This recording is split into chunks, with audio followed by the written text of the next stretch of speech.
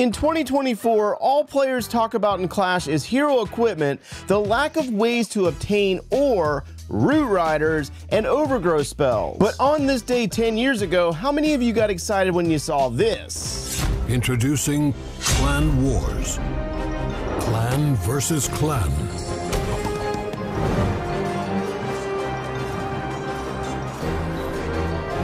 Prepare for war.